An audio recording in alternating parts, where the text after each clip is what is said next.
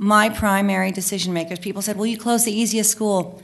I think we've all learned that that wasn't true. And actually, I didn't think that that was true. I felt like we were taking on probably the biggest the biggest foe, the biggest opponent, and that would be the MSU community that was requesting that we leave Red Cedar open. So it was a huge, it was a huge jump for me to choose Red Cedar, but I did so because I believed um, in my mind, in my mind, that it was the best school um, to pick for those factual reasons.